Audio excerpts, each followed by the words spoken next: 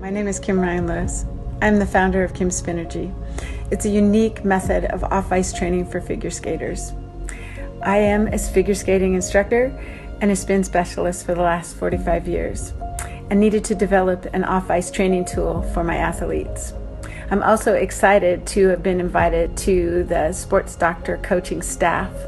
I will show you some videos of some of our off ice training, and I want to thank Dr. Bob for inviting me.